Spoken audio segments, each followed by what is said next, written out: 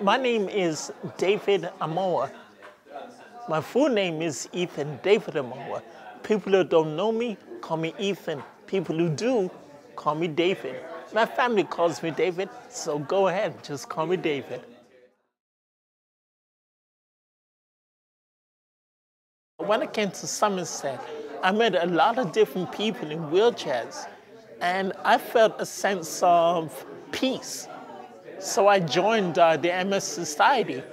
Multiple sclerosis is a condition of the central nervous system. In very simple terms, messages stop being sent around the body. The MS Society tries to be there to provide a whole range of support and services to help people affected by the condition take control actually of their lives. We've no idea what causes MS, therefore we do a lot of research into finding the cause, which will get us closer to finding a cure, and in the meantime research into how we can help people affected by MS to make the most of their lives. I was diagnosed when I was 26 years old. I, for a long time, was blaming myself.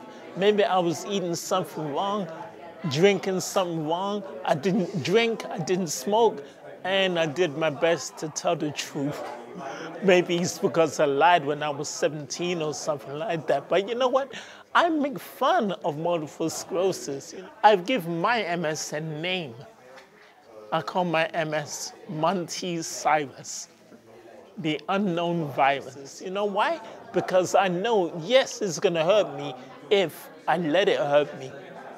But as long as I can keep a happy face and a positive smile, multiple sclerosis will always be Monty, no matter what. We're delighted with the support that we get you know, through, through the Bath Half Marathon and events and activities like that.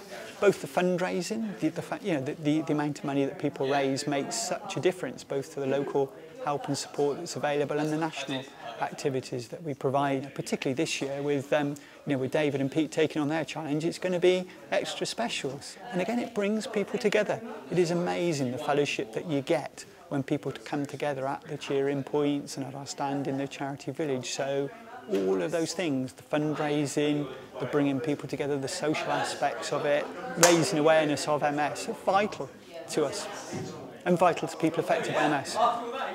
I know what I'm going to be doing. I'm just going to be sitting there for 13 miles, freezing off my fingertips.